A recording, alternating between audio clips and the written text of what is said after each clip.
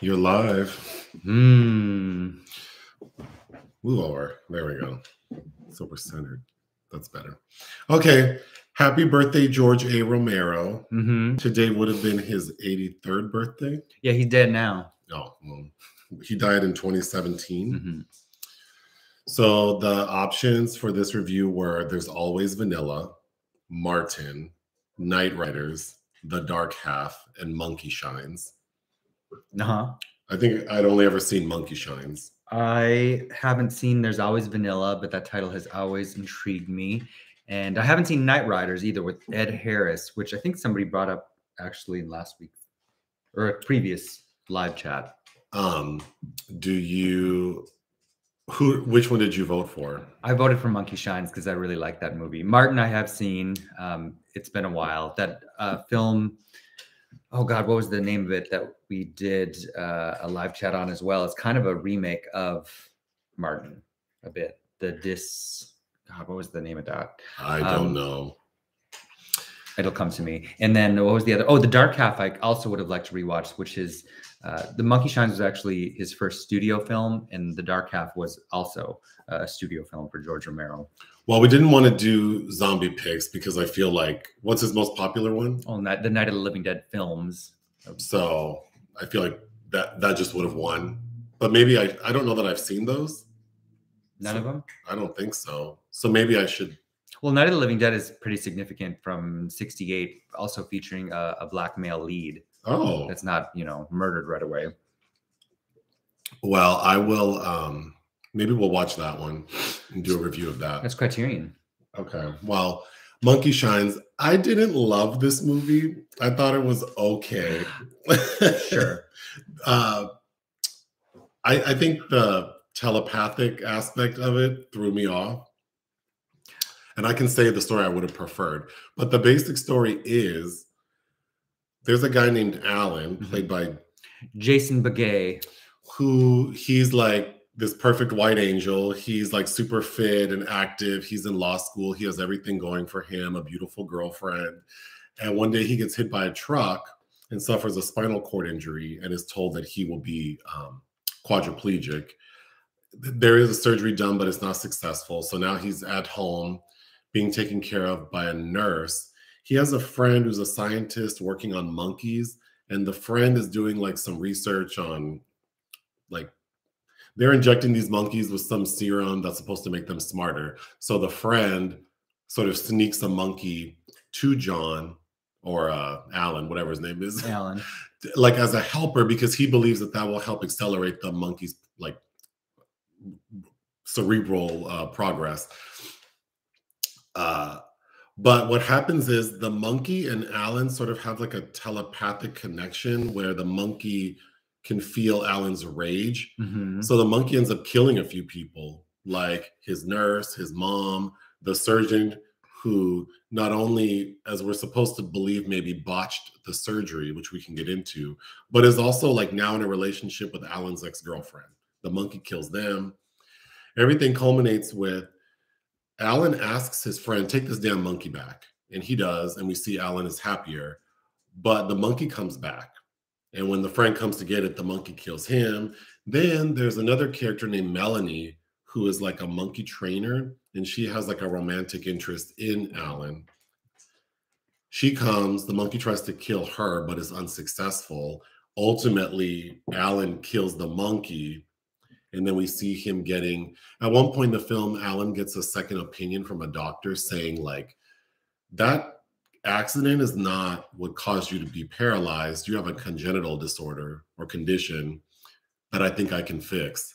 And the doctor does. So the final scene is Alan after his second surgery, and now he can walk. The end. Mhm.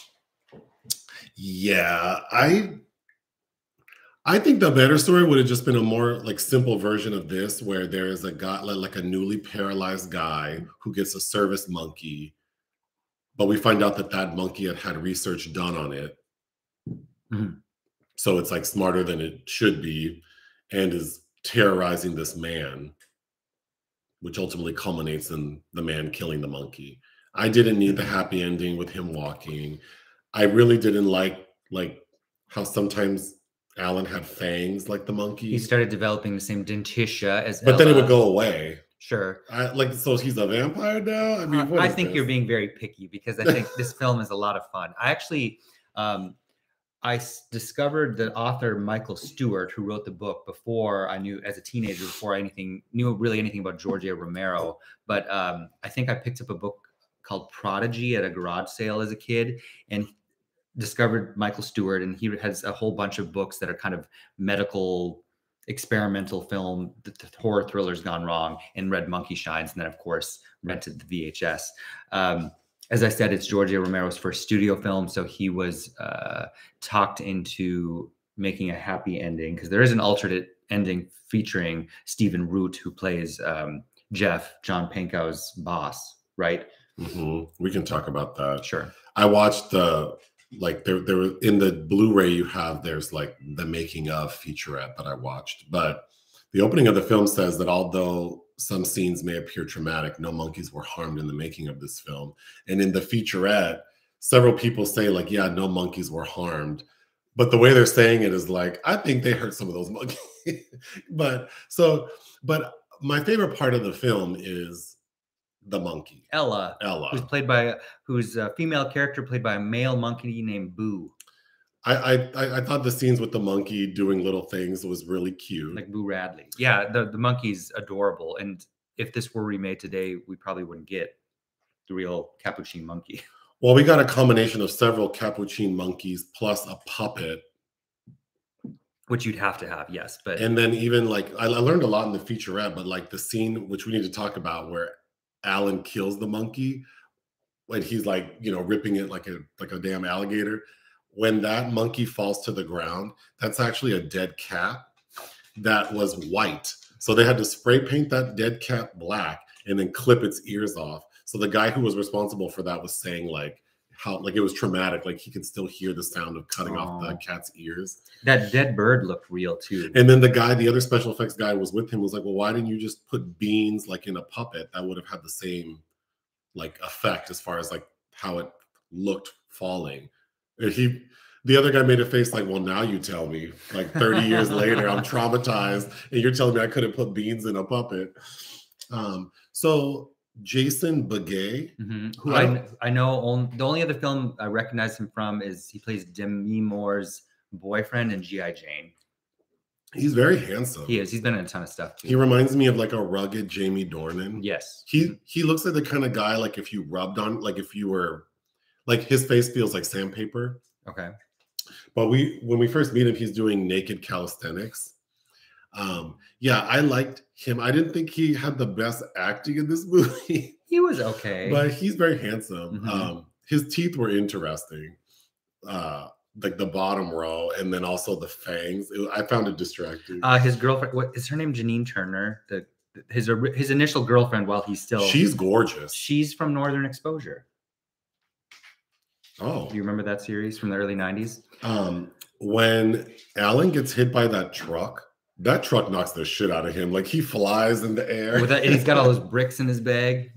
then when we see Alan come home from the hospital, that beard was a nightmare. Oh, Ella um, doesn't like it either. I, I thought that Alan has the first like Google Home because he's like he has this like elaborate system on how to turn on the lights and whatnot. Um, so then uh, a sad moment is Alan attempts suicide. Mhm. Oh my god. Here, keep talking. What- Or you want me to talk? The cast, hold on. Yes, Alan attempts suicide. Uh, what were you going to say about that? Well, it's just sad. And then the Wow. the doctor talks about how like a lot of people in his condition attempt suicide. A young Stanley Tucci is the uh, man that operates on him, uh, who then steals his girlfriend. So uh, I think the story is trying to say that maybe Stanley Tucci's character like botched the surgery on purpose because Alan says that so that he could get his girlfriend, which is like, wow, if he did that, that's horrible, obviously. But it was fun seeing Stanley. Mm-hmm. He needed to cut that hair off sooner, though. He sure did, but you know, we were taught to hold on to it as long as we can, right? Um, again, the monkey, little uh, Ella, Mhm. like doing her little chores and grabbing her treats was so cute. I like when she hugs him. Yes. Every time Jeffrey is giving Ella her shot of serum, I kept thinking he could have done that more gently. Yeah, He just like stabs pretty rough, and she's always rubbing her and her little feet. and the monkey had good acting. Yes, she did. Or well, technically, Boo is a he. Oh, well, when the second doctor is doing the consult and he's looking at the x-rays and he's showing the difference between the two, I was like, those x-rays look exactly the same. to Yeah, he's me. like, see here, no. Do you see here how this is congenital? I don't see shit that's different. They both look exactly the and same. And the actor Alan and Melanie are looking like, yeah, there's there's a difference. But in the featurette, uh, George A. Romero was saying that he knew that, like in writing the story, that that needed to be a, a thing that Alan's condition could be reversed. So he was like, the research I did, which he said was not from any book. So I don't know where he got this information from, but that that's why it sounds so basic because he was like, I was trying to figure out like what how, how can we play the story so Alan could potentially walk again? It, clearly it was not successful because that scene with the second doctor is kind of ridiculous. uh, played by William Newman, who you've seen a character actor from many films, including Mrs. Doubtfire, uh, and also the horrible nurse Marianne, who uh, decides that she needs to bring a bird to live in a quadriplegic's house. Uh, that's George A. Romero's wife, or was at the time. She's in many of his films. You work for me, lady. Okay, I told you I don't want this bird in my house. It keeps flying around. That bird like landed on his face and was pecking his eye. As soon as Ella comes in, you're like, oh, that bird's. When's she gonna die? When's the bird? Oh, gonna die?" immediately I knew Ella's gonna kill that bird. Oh yeah, Uh, it's much like in Megan when it's like, oh, that dog's gonna get it. At one point, Alan like bites his lip because he's mad and it bleeds, and then um, Ella like jumps up on him and licks the bloody Mhm. lip. That was gross. I do like. I think their psych, their little psychosexual connection is very bizarre and weird, and could have been pushed a lot further. But I like it, uh, as well as this, you know, quadriplegic sex scene. that Okay, is- that's my next note because after I saw that, I actually spent quite a bit of time reading about like sexuality and people who are paralyzed below the neck. And sure. there were some really interesting articles that I think are they were interesting reads because basically it's talking about how like sexual satisfaction is really a big part of it psychological Yeah. and it talks about how orgasms are not like you know the the way we think about them uh you know it's static and there are other ways that people can achieve that sensation and talking about people who are paralyzed so that was one good thing about this movie is that it made me read a bunch of stuff about that Sure, and I think it might have. Is it the first film that has a sex scene with a quadriplegic character? oh It might be. I'd have to look further into that, but I didn't think that Alan's mom deserved to be spoken to that way. What did she do to him that he was so mad at her? But Did I miss something? No, but he, the thing is, he's devolved. Like he's got this thing going on with his monkey, and he realizes it because he tries to warn his mother. He knows what's going to happen when he gets mad about someone. Uh, and plus, he's been through a significant trauma, so maybe his mom doesn't deserve that, but he's not really in a good place. So, But another note I had was that what's missing for me from the story is we really don't see the transition from this like super fit, active guy who had like his entire life, like a successful life ahead of him, to now he's without use of his body and kind of stuck. He seems pretty well adjusted up until the monkey starts acting up.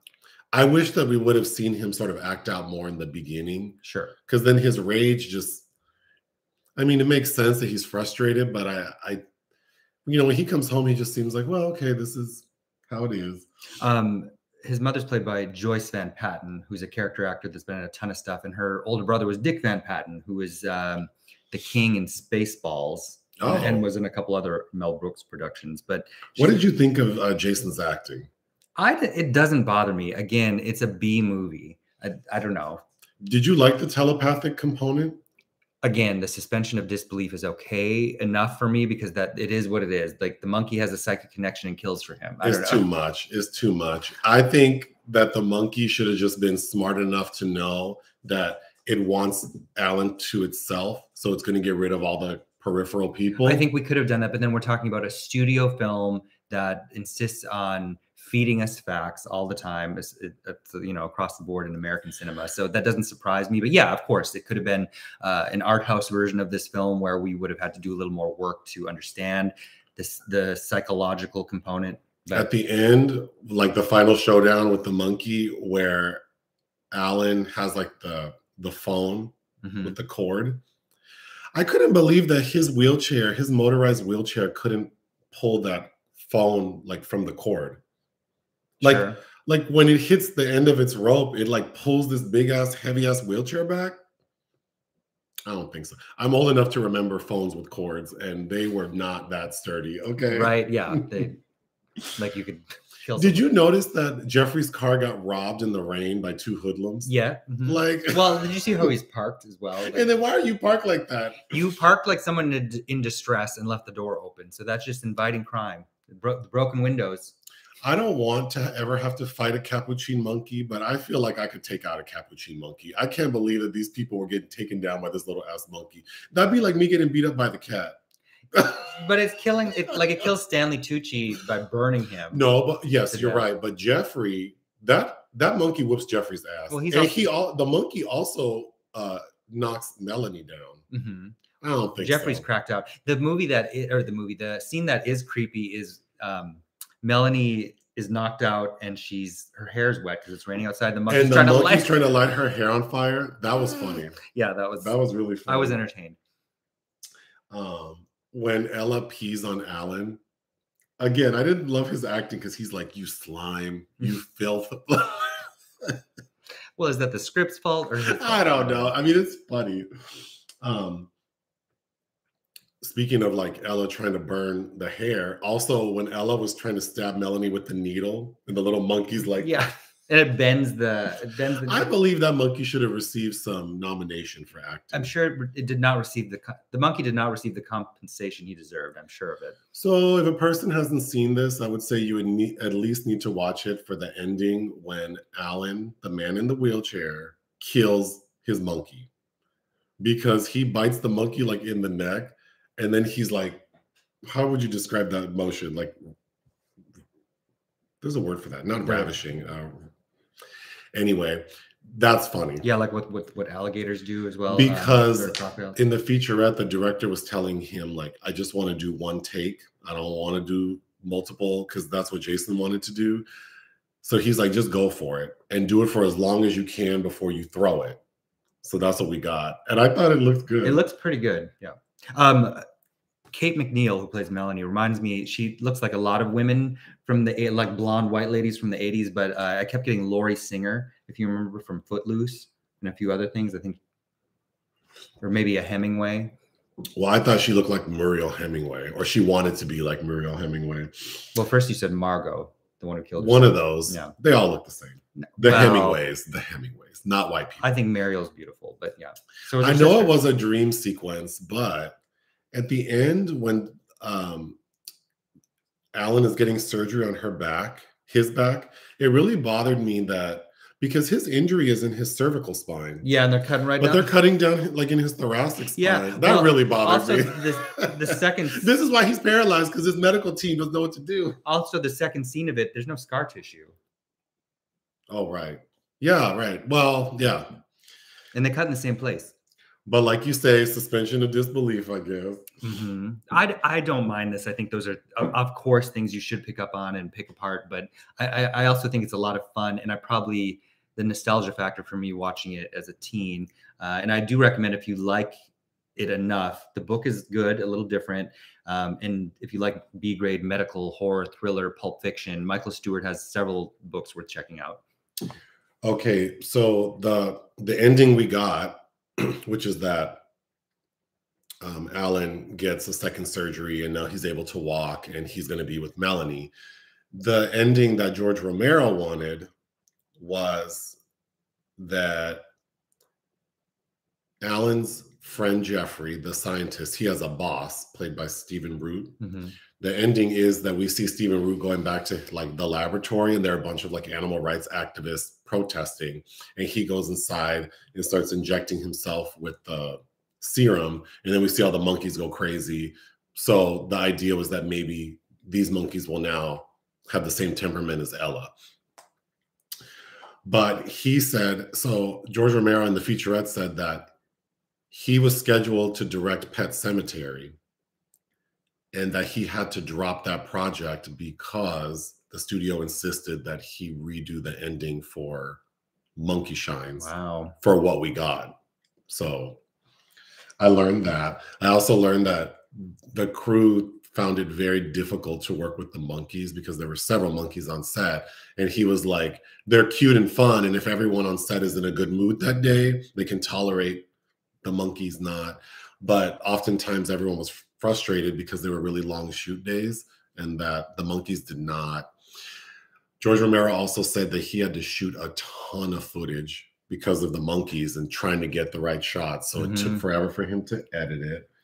I told you about the dead cat. Mhm. Um, I also don't, you know, a lot of old, well, um, science thrillers. Uh, th- you know, the serum looks like Gatorade or Kool Aid, which I always find distracting. Like, just have it be a clear or Romero said he hated the marketing of this film, like the initial marketing, because he thought it made it seem like cutesy and he wanted it to be more menacing to let people know it's a horror film. And obviously, the marketing backfired because um, there were people protesting at the premiere saying that the tagline and the poster art was insensitive to people with physical disabilities. So, you know, not only did he not like their approach, but it ended up backfiring. And then the film obviously wasn't a success. Right. Well, not obviously, but it wasn't. Lastly, um, I didn't realize that Jason Beghe is like, he's on some like, he's been working a lot yeah, all these years. he's in some big series. But he's um, known for his very gravelly voice, Mhm. which he does not have in this movie.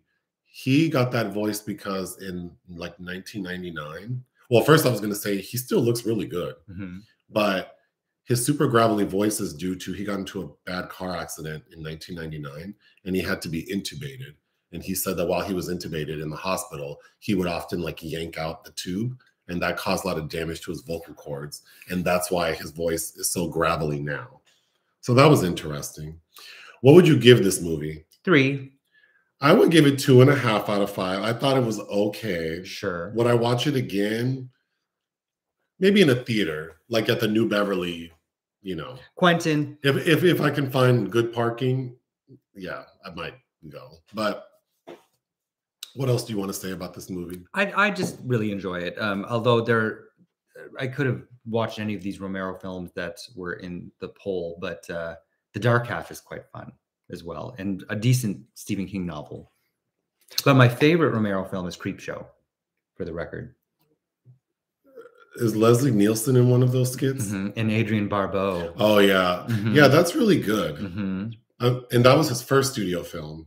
Monkey Shines is technically his first studio film. Oh, but Creepshow had a bigger budget than Monkey Shines. I'm not sure. I think that's what I read. Okay. Yeah, I, I like how the movie looks. It's well put together, and the you know the the the wrangling of the monkey looks great. But yeah, the story I found kind of silly, more silly than I would care for. Sure. Okay, I'll go through the comments. Hello, hello, hello. I've seen the Crazies because it's been remade, right? We've seen the original and the remake. Yeah. The remake's not good. I remember seeing this trailer before a kids movie when I was really little and being completely traumatized. I actually didn't watch the trailer for this movie, so I probably should. Um, the dark. What is the story of the dark half? Uh, it's the story of uh, Timothy Hutton plays a twin who absorbed, well, he absorbed his twin i- in utero, uh, and then there are kind of weird psychic connection things happening there. Amy Madigan, the wife of Ed Harris, is also in it. Um, a young. Oh, someone said our reviews are great. Thank you. After my spinal cord injury, some people were really trying to convince me to get a helper monkey. well, I mean, I'm sure they're usually not like this. Well, I would imagine a helper monkey is more capable than like a like a service dog, right? sure. Well, they have hands. You hope we'll review film 65. I really want to see film 65. That'll I also really want to see Inside with Willem Dafoe. That trailer looks good. That'll be in Berlin. Oh. Mhm. When that monkey throws. Oh, that's right. So the way the mon- the way Ella kills Alan's mom is he th- the monkey throws a hair dryer that had to have been plugged in, obviously, um, into the bathtub. So the monkey knows how things work. Well, the monkey's smart. It is very smart. Running with a backpack of bricks is that. What is that? Who's being forced to run with the back? Oh, does Alan when he's running? Yeah, remember because you see the brick shatter. That's right. I forgot him. I was so distracted by the naked calisthenics. Like, what an what an odd way to open the film. Well, it's showing you what a snack he is before he I gets mangled. I guess. like Bruce Jenner.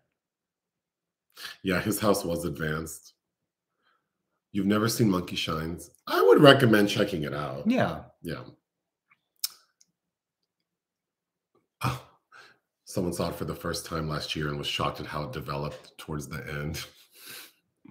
Oh, Um, the film I was trying to think of that Martin is that's kind of a remake of Romero's Martin is the Transfiguration oh, that we did. Oh, that's live. right. Mhm. Oh, you um you have your Dean and DeLuca mug. I do. Thank you for saying we have a nice kitchen. And that was the tagline for Monkey Shines. An experiment in But there's also this little sing-songy poem. yeah on about a the man poster in a chair. That's what people found offensive Oh. because it says like because it's implying that someone in a wheelchair would like that that their life is over.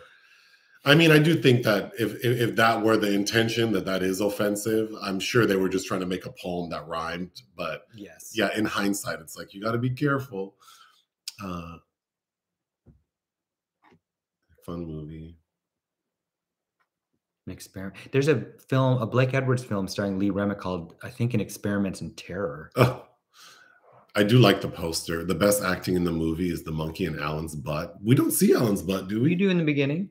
Oh, that's right. Well, and then Stanley Tucci says like he, what does he say? Like his butt is hairier than. He says something to the nurse like his butt's hairier than your face or something. Something. He says something disparaging to the nurse where it's like, okay, you're one of those doctors. Where do you get a dead cat? Um, you order them from the same place you get like pig, like for cadaver use, like in science classes. For I remember Because I've had to order some. when they did press for the eyes of my mother, We got a box. Well, you received a box. um, and there was a cow eye in it, and but there was no there was no delineation on the box to suggest where it came from. So I, I was totally perplexed for a while uh, that who would have sent me a cow eye, an actual cow eye Um, that we had in the fridge. for a while. oh, Jason Beghe grew up to be a jerk. What did he do? Oh, Chicago PD. That's what he's been on like a hundred, like almost 200 episodes. I Yes. think. Have you seen the 1966 movie King of Hearts? Uh, yeah, is that with Alec Guinness, or am I thinking something else? I th- I feel like I have seen that though. Um, you wish we would review Benji the Hunted. That has the most intricate animal acting I've ever seen. Maybe I'll add that to the pod my podcast list. actually, I remember watching Benji movies as a kid. I don't think I ever I never watched Benji or Last. I'll actually I'll have to add you let, don't let me forget to add it to my list. Um oh someone's doing naked calisthenics right now. What do the young people say? Like if like if you don't have a picture, didn't happen or what's that phrase? Like send a pic or it didn't happen, or I don't know. That's not a phrase. There's like a cooler way people say that. Oh, I King of. Hearts is with Alan Bates. I feel I don't think I've seen that actually. de Broca, no, Cohen Media Group re-released that. I think I saw the uh, restoration of it probably like 2018, but I I could rewatch that. I did think Stanley was handsome. Uh, but yeah, his hair, well, his hair needed to go, and also Jeffrey's hair. Because Jeffrey is also in the featurette, you know, 20 some years later, Mhm. and he's still keeping that hair. And that hairline is like right here. Like, let it go, girl. He was in some other Jeff Pankow was in some other great 80s films like Batteries Not Included, which is the fa- I'd love to rewatch that. Uh, and oh, the Friedkin classic To Live and Die in LA, which also has, you know, one of the at least top five car chase scenes of all time. But in the movie The Possession, you could see the demon in the X-ray. The Possession? Do I know that movie? the Ole Bornedal film or with Kyra Sedgwick? I'm not sure. Someone said F that bird. I was mad about the bird. This is my house and I pay you to work here. That nurse was too mad. She was acting like she was volunteering. Yes. You are getting paid, ma'am. Like if you don't like it, then you need to leave. Well, because he says some line to her about like Ella needs her reward or something. She's like, "What reward am I going to get? Uh, your paycheck. Your paycheck. Your paycheck is your reward." Um, I was so bothered by the nurse because she was mad from the beginning. oh yeah. Because even when Alan first comes home and his old trifling ass girlfriend tries to get him a cocktail, and she's like, "Oh no, we use sippy cups and no ice. And if you are going to give him alcohol, you need to water it down." And then she storms out of the kitchen. Like, why are you mad right now? Um, I'm trying to read these comments. Oh my god! When I was little, my cat used to leave bird heads by my back door. I feel like you have stories about cats. Oh yeah, yeah. In northern Minnesota, we had a the dead of winter because my dad was somebody who wouldn't let the cat inside, which drove me crazy. But uh, this very hardy female um, killed a pregnant rabbit in like January, and all the baby rabbit fetuses were strewn out in the sidewalk. And I have a very clear memory of my mother trying to walk in heels on the ice around these rabbit fetuses that were kind of uh, encased in ice. it was really gross. Um, yeah. There's a movie called Coming Home. Yeah, Jane Fonda won her second Oscar. Does that have a sex scene with someone who's uh, paralyzed? Jon Voight. Oh. I don't remember Well, what the year sex is that? 1978. Oh. Okay. Um, I could rewatch that too, but that that's a, a really good anti-Vietnam film. But oh, it's right here. That is with Jane Fonda. mhm. Both But yeah. of my neighbors' cats would bring dead mice, chicken leftovers. They'd find in the street. and Bruce Dern's only Oscar nomination was for Coming Home. oh, Mhm. Laura's dad. Yeah. Noted. Um, I'm glad other people use the word crunchy. hmm Oh yeah, John Boyne, Jane Fonda. Okay, eight is enough. Jane, okay, Dick Van Patten, main claim to fame. Eight, eight is enough. Okay. The Water Dance. Have you seen that? No. That's a great movie about people who are paralyzed. I'm still reading comments. Okay, so I guess Coming Home is. I haven't watched Coming Home since. God, it's been 20 years, but that's not that sounds right. Eight is enough. Did did you watch that show? No. With John, not eight is enough. Because isn't there a movie with like Gabrielle Union? Eight is enough. Cheaper by the dozen, Oh, I'm thinking of cheaper by which the is dozen. the remake. Oh, okay. Mhm. Maybe the second remake. Wait, if you don't have it in the hips, you better have it in the lips. I like that saying, but what does that mean? Is that Willem Dafoe? Where's that from? Well, it says Willem Dafoe, born on the fourth. I haven't seen. I'm not. I don't love Oliver Stone, but um, Dafoe's great in Platoon.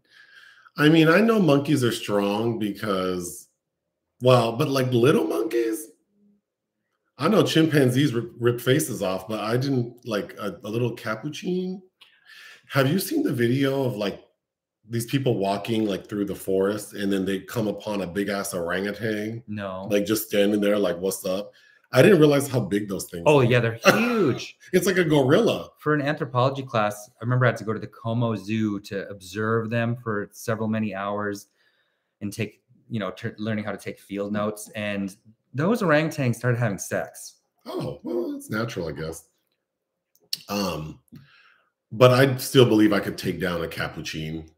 If my life depended on it, Isn't a We're cap- fighting. Isn't a capuchin the one spreading the virus in outbreak as well? And I want to say it's in Raider the in Raiders of the Lost Ark, the one that serves the poisoned figs. someone said they beat the brakes off of that monkey. Yeah, I mean, if my life depends, Oh, of course. Yeah. But because ultimately, um, the man in the wheelchair killed the monkey just by biting it. he so sure did. I don't know how that monkey took down Geoffrey.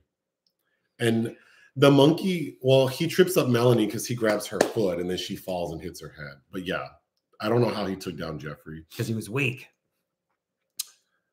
George Michael has a song about a monkey. I guess I don't know that song. I don't know that song. I'll have to look it up though. Yeah, see if a you know a monkey can do some damage. Oh, Lake Placid is a decent movie. Oh, Bridget Fonda. Yeah, Lori Singer was in Fame. I never watched Fame. But oh, I need to watch uh, the the movie. mhm, yeah, I've never seen the film. Uh, but yeah, she was an 80s face. I remember well. Did I ever watch Mad About You? That's with Paul Reiser. And Helen Hunt.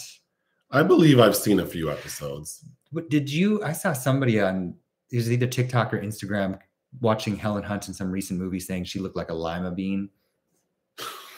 Oh, I posted You, yeah. That lady's face is shaped like a lima bean. Well, It she's is. done some work on it. I feel That, shouldn't. that girl put the hoe and Hoyer lift.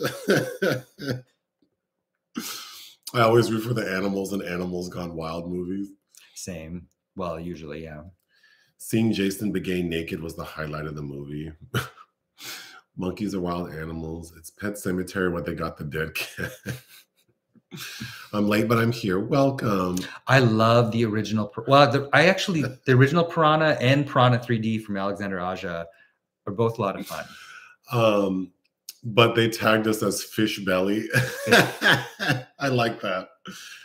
We watched what's that crocodile movie with that handsome man we watched with your sister, where he's losing his hair and they're making fun of him. Oh, Robert Forster, Yeah, what's that movie? Alligator. Alligator. That was good. Robert Forster is serving in that movie. He is, and Yeah. I watched the sequel, like Alligator Two, something where, Mhm, that's made like a decade later. yeah, that was actually tol- like it was fun. Tolerable.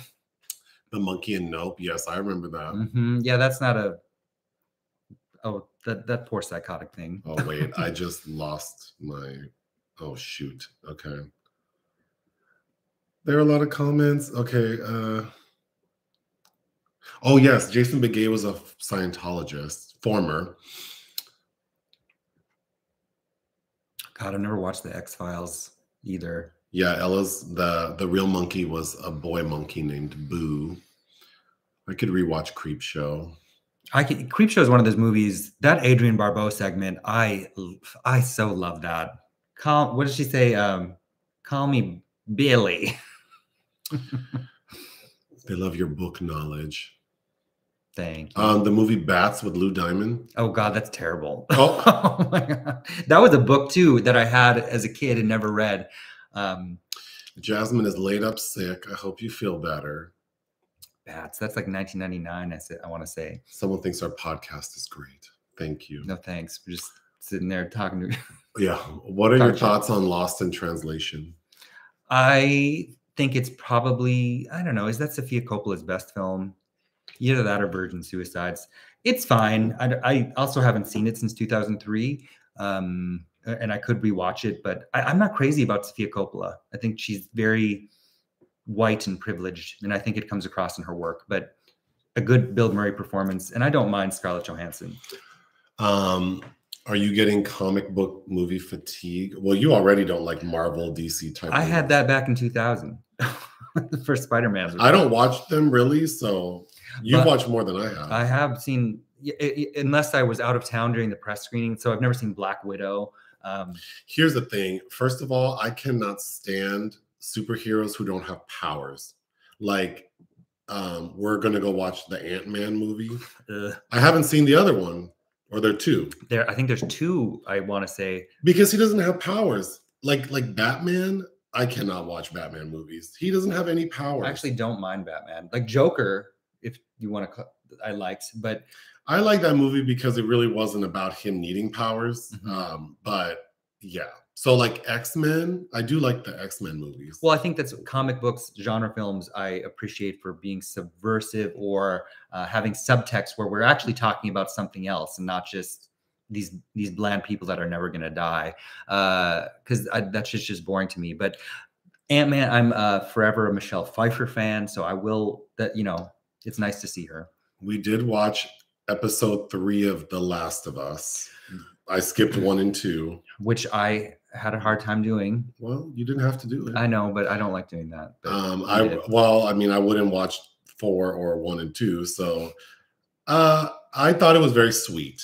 it was very moving. Um, I'm dead inside, so I don't think it really hit me the way everyone else, but it was very sweet. I'm. I think I don't really love the conversations that are being had about it because I have. A, there are so many fascinating things about the scenario with the Nick Offerman character potentially. So he never would have had this kind of relationship if there wasn't you know a zombie apocalypse uh, and also these two have also it, it's a state of survival that they're in that has kept them together it's not if there were a plethora of options you know this relationship might have worked out. So there are so many fascinating things in the well i agree with you. I i think what you're describing would make an excellent movie yeah I, about sort of the dynamics uh, like delving into sexuality and like uh because it's almost like prison mentality Right. like i don't have any other options and i'm in this like really extreme situation.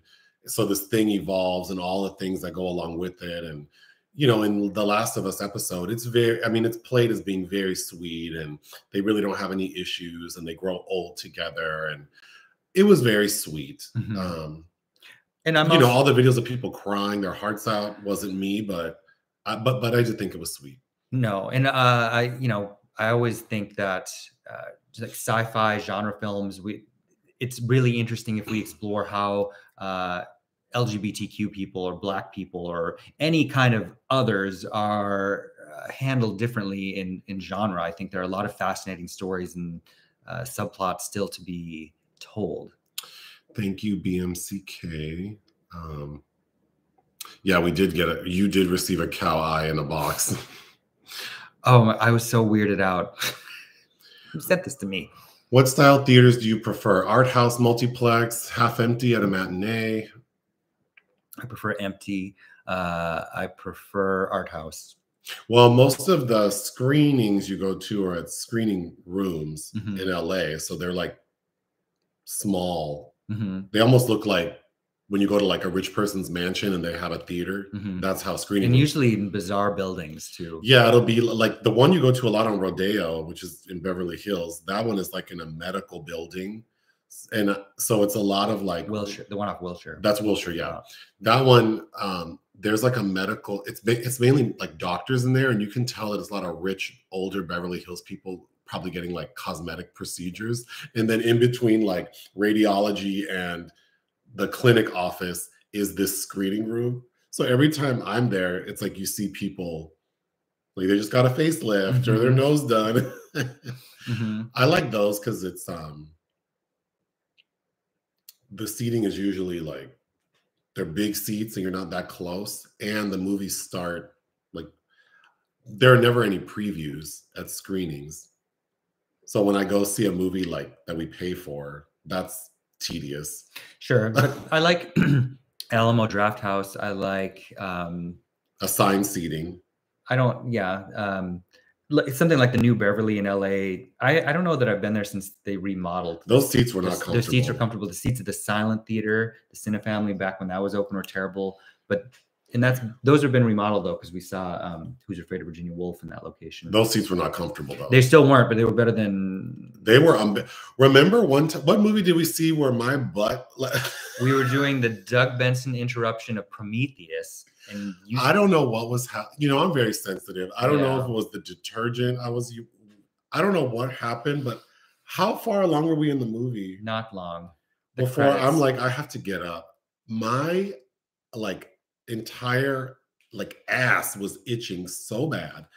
It wasn't like a hygiene thing. It wasn't like uh critters. It was like I think I was having like an allergic reaction to something, and we were there with friends Mhm. and we had to get up and leave. so ever since then, thinking about sitting in that theater, I don't like it. Thank you, LJ. My first Janine T memory is Laura Templeton on General Hospital. Luke, real Laura, married on yacht. She fell overboard. Luke met Laura T when looking for missing wife. Demi M was LT's sister. That confusing ass story sounds exactly like what I expect from General Hospital. Yeah. mhm. Pics or it didn't happen. That's what I was trying to say. Oh, there you go. That's what the kids say. Oh, someone's glad I'm feeling better. Me too. Although now I feel weird again. So, um, ooh, a Benji movie with Chevy Chase. No, I hope the dog bites The, him. the dog probably didn't like him either. that hairline bailed in '78. Short Circuit is a good movie. Nick really likes Batteries Not Included. I do. God, short circuit, where fucking Fisher Stevens is uh playing an Indian man. You know, I'm, I never liked cats. I still don't, but I recall sort of thinking differently about cats um, the first time I went to New York, which would have been like probably like the year 2000. Mhm. And the guy I was with there, he lived there and he we went to a bodega because I kept saying I want to go to a bodega, like it was something like out of this world. And so we went to several and there were cats in there. And he explained to me that they have cats to chase away the mice or the rats. Oh, that reminds me. Chopped cheese sounds good. So then I, from that moment on, I appreciated uh, cats more. And but chopped cheese, hmm Speaking of bodegas, speaking of bodegas and Cardi B, I watched an episode of that David Letterman Netflix special where he interviewed Cardi B, and that's where I learned about chopped cheese sandwiches. Mhm. And then I asked you to make me a chopped cheese. we made several. Those are really good. hmm It's basically a cheeseburger, except the meat and the cheese are like chopped up like ground beef together, hmm and it's always American cheese. hmm the kind that melts. It's so good. It's not good for you. Oh yeah, Bruce Dern. I guess he wasn't. So until Nebraska, which was 2013. Yeah, I feel like he was no, nominated for Nebraska. I didn't like that movie. Yeah, when the monkey puts the the banana in the nurse's slipper, I was hundred percent sure that monkey shit in the slipper. And she should have counted herself lucky. It's just a banana peel. I remember when my husky killed an owl. I was mad. I had to clean it up, but I was impressed. Remember the owl, the scene of the owl attacking Toni Collette in the staircase? yes.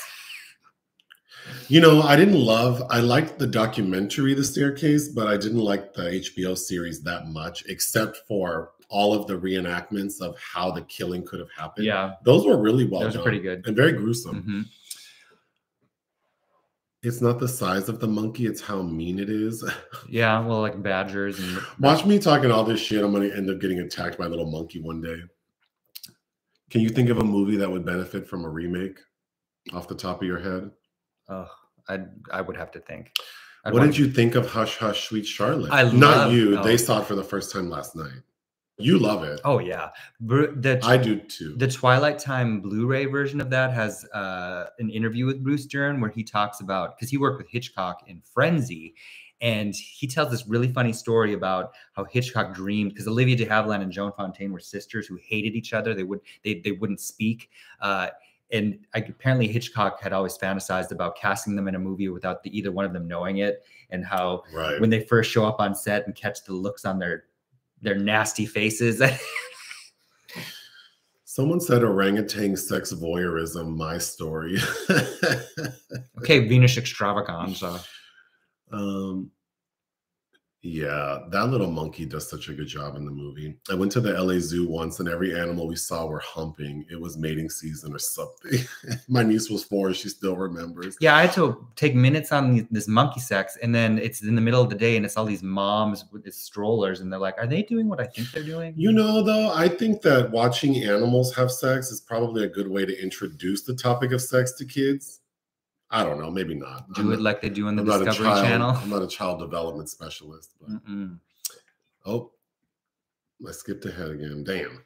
Um, oh, there are a lot of comments. Okay. Uh, oh no. Mhm. I've seen the TV show Fame, but not the movie. Why is that? I only watch Fame because Janet Jackson's in it. There you go. Yeah. Mhm. The TV show. Oh, speaking of moose, the first time I went to Alaska, we went on this like tour, like that we went, and it was like the dead of winter, and they got us on these snowmobiles and took us way far away. And we were walking in the forest, and it's like white, white, white with all these like dead trees. And it's like the it was my first time in like winter where it's like so cold, the air feels thick and foggy Mm. And the guy is telling us about like be careful like don't move quickly and we're walking and all of a sudden we turn a corner and there's a moose and i didn't realize how big moose were because i turn the corner and i see the moose and i go like this mm-hmm. Yeah, that thing was up the head breathing down was up here Mhm. and the whatever the antlers were so wide and they can stomp. We had a baby moose show up in our yard when I was growing up, and it tried to get the dog who was hiding under the deck, and it ruined the porch trying to stomp on it. robert forster was sexy af in alligator Mhm. Uh, he's very attractive and naked in Reflections in a- Golden Eye, where he's the object of Marlon Brando's affection. Richard Pryor has a great joke about um, having a monkey. I feel like I remember that joke. Um, Apparently, Richard Pryor also slept with Brando. well, Goo- Google Richard. Well, no, yeah, don't Google that. I guess. Um, oh, hi, South Africa. Joburg, where are you from? Sofia is a nepo baby. Yep. Does Nick think that reading Infinite Jest is worth it? I am thinking of getting into it this week. You know, I own that, and uh, it's long, and I haven't read it yet, but I, Oh. it is on my list of things to read. You can't wait for the Ant Man review. Well, I have no. I'm I'm going to watch it. I have. When I tell you, I have zero interest in watching that movie. Where is it? Do you know? Probably AMC. Um, The press screening. I don't remember. the only good thing about going to see screenings there is we usually eat dinner first. well, you like Takaya. I like Tokaya because you know they have happy hour from four to 6 Mhm. so I feel good about that. And then usually at that theater they'll give us popcorn and a drink, and I really love getting Slurpees. Yeah, you do like free things. I do like free things. Not anything, but because I would never buy a Slurpee and popcorn at a movie theater on my own. Um, have you seen Beautiful Thing? No, The game I ha- I know of it. I haven't seen it. X Men, I don't mind. Yeah. well, at least the first two. Yeah, I yeah, I like the second one a lot. Once. Halle Berry gets that little, well, her hair always looks crazy in those, but once she gets that like spiky haircut in the third one, directed by Brett Ratner, it's all bad because the first the Bob was terrible. Well, the Pixie is probably the best version, but yeah, it should have been Angela Bassett. That's all. I often. Okay, hold on. I don't mind Sofia Coppola's Marie Antoinette. Uh, the movie I really don't like by her is her Beguiled remake, but I've been quoted now. I'm dead inside, but y'all might like it. um, I am familiar with P Valley, but we don't have. Is it stars? Whatever platform P Valley is on, we don't have that.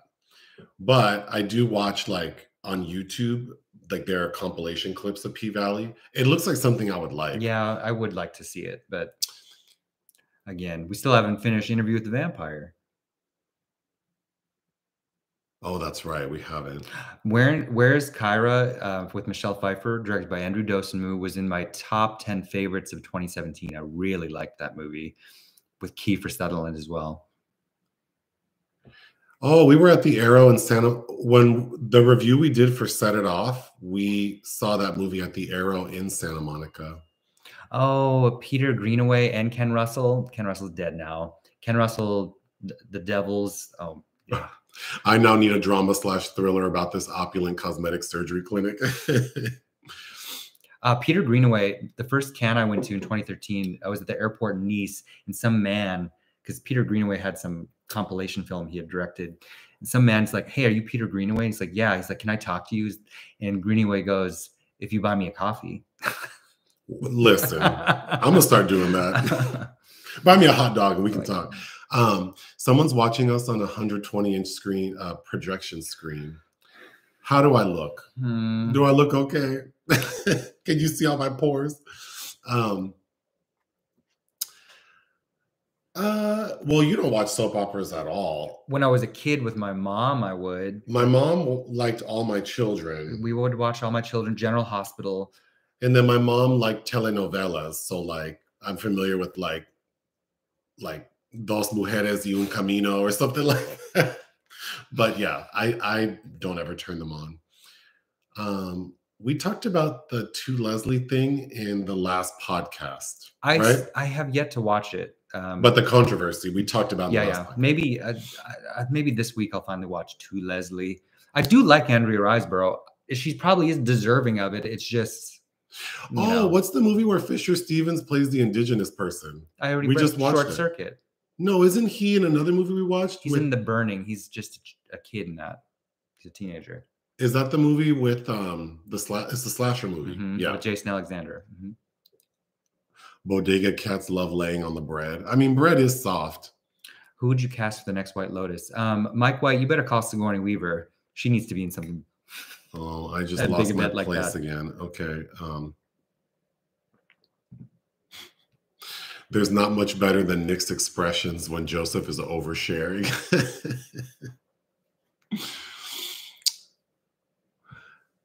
the staircase. Do we think that man killed his wife? hmm Yeah, I don't know. That owl theory had me going. I don't think. I think when I saw that owl scene, I'm like, maybe the owl killed her. when Colin Farrell um, performs anilingus on Toni Collette in the kitchen.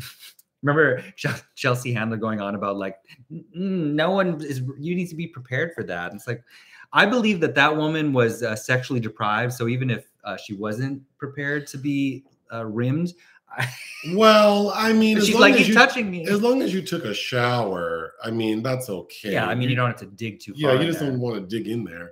Um, we did see Skinamarink. There's a review for it. Oh, I mean, I we are not of the popular opinion on that film for sure. But I I have to be honest, I did I really did not enjoy watching that, and I do like experimental films.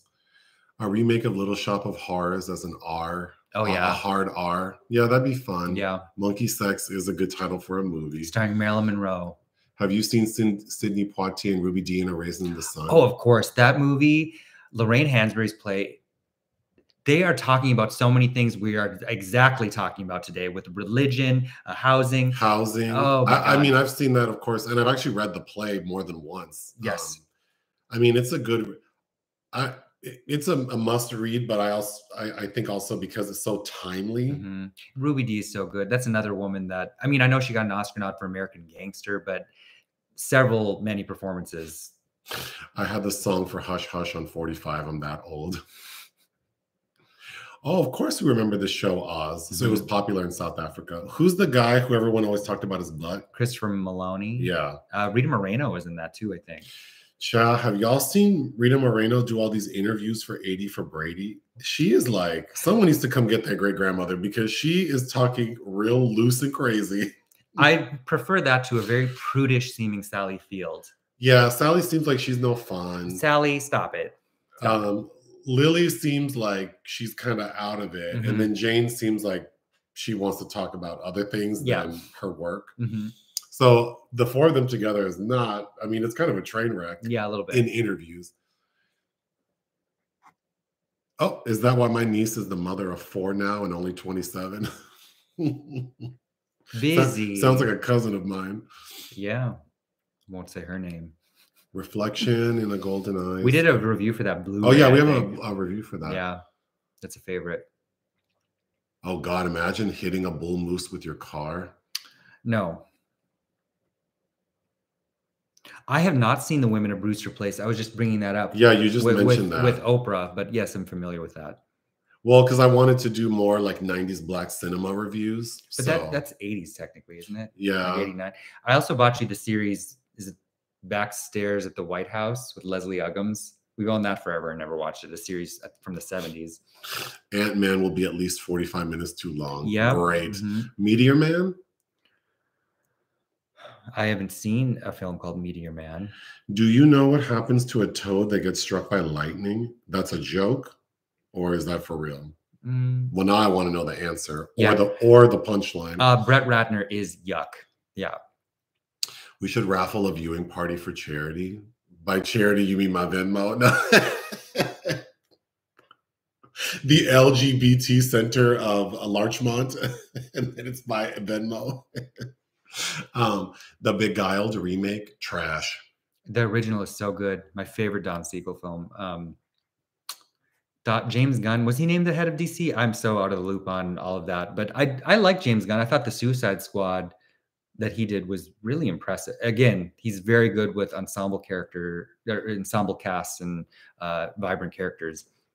Someone really misses Jessica Lange. Is she gone? No, she has a new movie coming out um, February 15th. Marlowe, directed by Neil Jordan, which I'm very I'm reading the book it's based on right now, uh, and I hope to get a screening link by next Friday.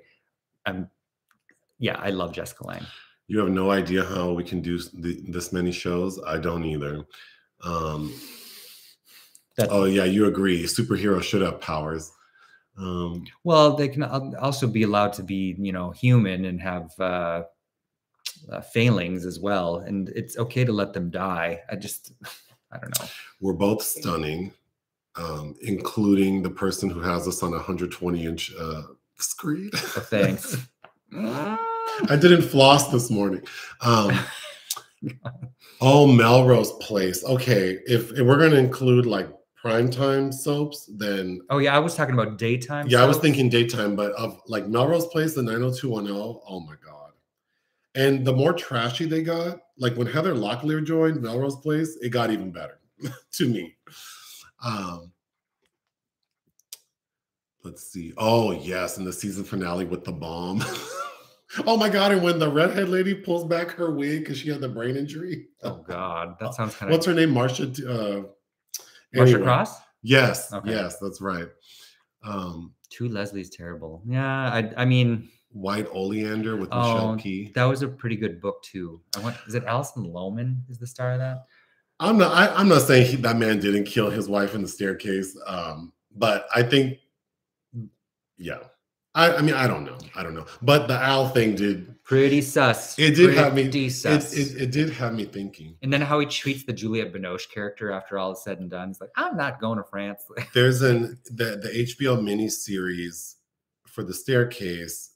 They are positing that like they give multiple scenarios of how the wife could have died, and we see the two of them sitting by their pool, and she realizes that he's doing something sketchy. I forget what it is, and then he tries to like get her mind off of it, and that's where the rimming scene comes from. um, Charmed. You know, I never watched Charmed, but I know it's Rose McGowan, Alyssa Milano, and um is was Alyssa Milano part of the original? I don't know. I don't- Uh I it didn't- Shannen Doherty? Oh, she was a part of it. Yeah. Okay. Um. My mom had such strong opinions about Shannen Doherty.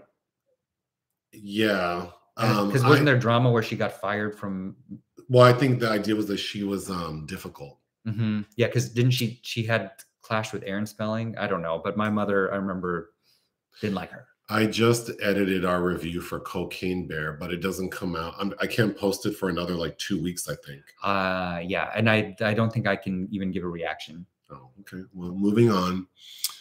Oh, I lost my spot again. Okay. Uh, oh no.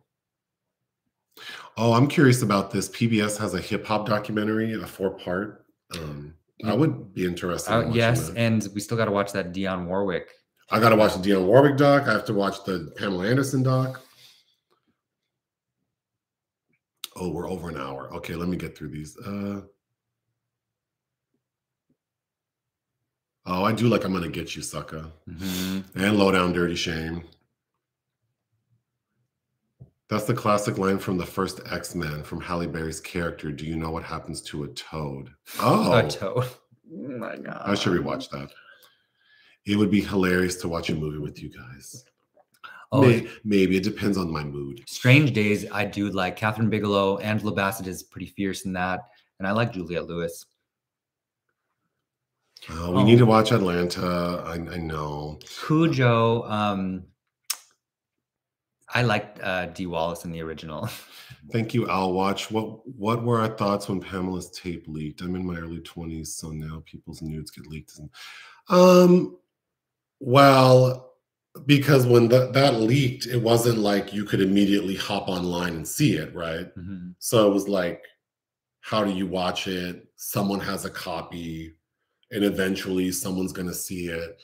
It took a very long time for me to actually see images from the tape, but I don't think I've ever seen.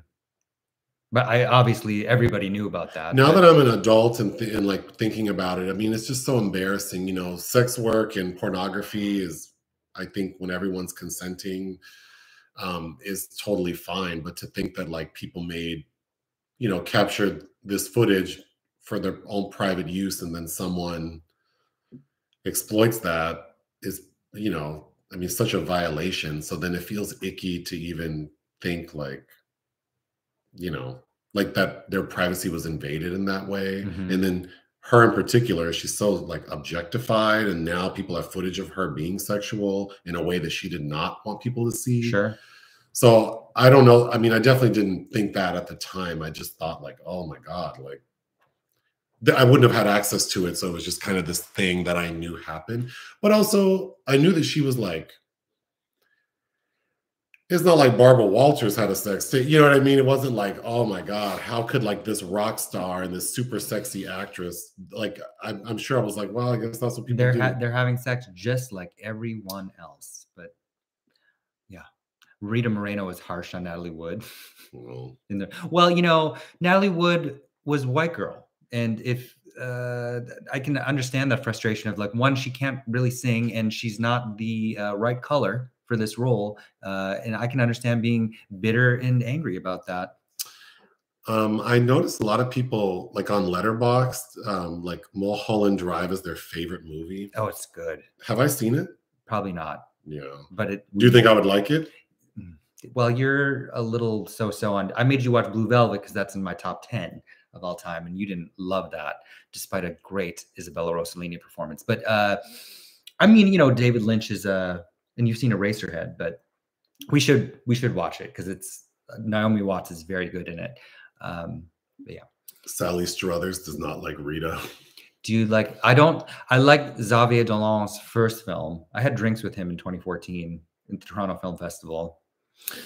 Enough said. But uh, I don't. I don't think he's a good filmmaker. I think he has nothing to say. Well, we have to go because I need to record a review for the BET Plus original The Reading, starring Monique Hicks, executive produced by Lee Daniels. And I'm kind of looking forward to this review because this movie was a train wreck. but um, I don't know what the next uh, category will be, but I'm sure we'll do one this coming Saturday because you'll be out of town the following Correct. Saturday. Mhm. Um, Grand Canyon, Lawrence Kasdan, where they uh, link up Alfre Woodard and Danny Glover because the the white characters are like, "You're the only black person I know. You should fall in love." That's my memory of Grand Canyon. Fish Jelly is a, a play on the Destiny's Child song Bootylicious, how they say, I don't think you're ready for this jelly. And we always thought it sounded like fish jelly. That's it. it's not that uh, interesting. Okay. Do you have anything else you want to say? No. All right. Toodaloo.